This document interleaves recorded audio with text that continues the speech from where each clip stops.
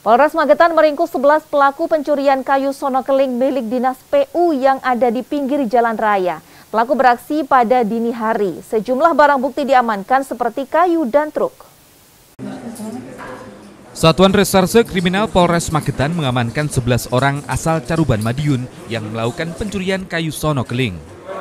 Aksi pencurian terjadi pada Selasa dini hari lalu di Jalan Raya Mospati Sukomoro, tepatnya di Desa Bulu, Kecamatan Sukomoro, Magetan. Pencurian dengan pemberatan ini terungkap saat salah satu anggota Intelkam Polres Magetan mencurigai aktivitas penebangan pohon milik Dinas Pekerjaan Umum Provinsi Jawa Timur, kemudian melapor ke Reskrim Polres. Sebelas pelaku sempat melarikan diri menggunakan truk namun berhasil tertangkap di Mospati. Petugas mengamankan barang bukti berupa kayu sonokling yang sudah dipotong dan truk yang digunakan pelaku dalam melancarkan aksinya. Amankan 11 pelaku yang notabene orang-orang dari Sarat dan Madiun.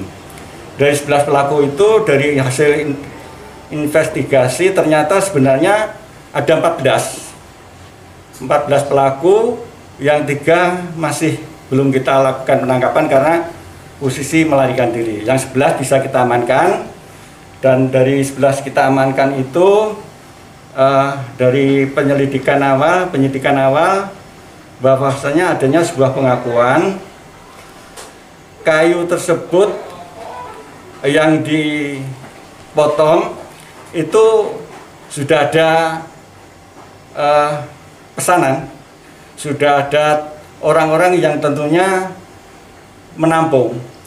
Namun dari pengakuan awal juga dia baru melakukan satu kali itu.